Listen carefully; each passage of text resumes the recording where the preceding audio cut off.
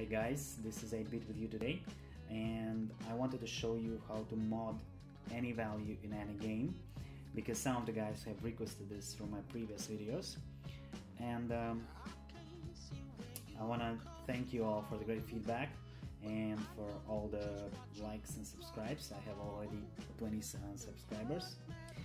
Uh, that's a good number for me. So basically I'm gonna show you how to mod any number in any game.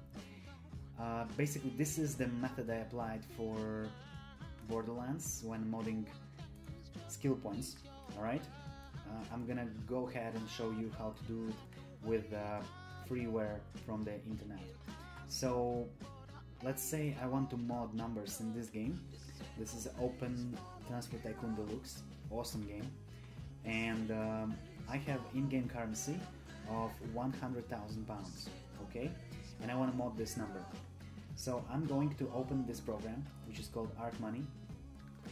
This is a freeware, and I will include download link for a free version from the original website in the video description. So go ahead, look it out. Here, it's very easy, fast forward process. In select process, I'm going to select the game I'm going to mod. So basically, this is Open Transfer Tycoon Deluxe, and I'm going to search for the value from the game. I'm choosing exact value, then I'm entering the value I'm looking for. In this case, it's 100,000.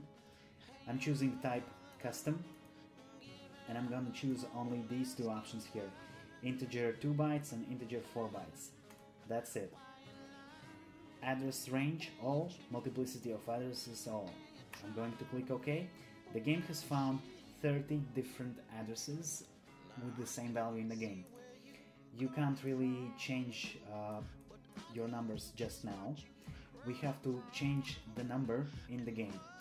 So I'm going back and I'm going to spend a couple of pounds here. Alright? I had 100,000 pounds and now I have 98,871 pounds. I'm going back to Art Money and instead of search, I'm clicking filter. So now the program will filter previous search and will find the value which we are looking for.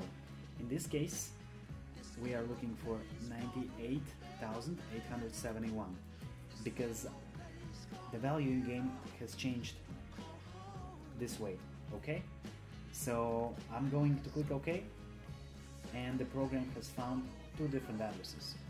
I'm gonna click here on the green arrow pull all these results here and I'm going just to double click here and change the results by just three zeros okay? That's it.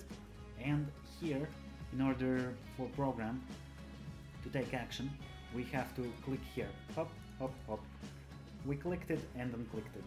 If you leave it clicked, the value in the game will not change ever until the program is running. So basically that's it.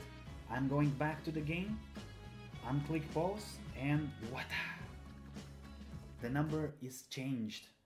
And this method you can apply to any game.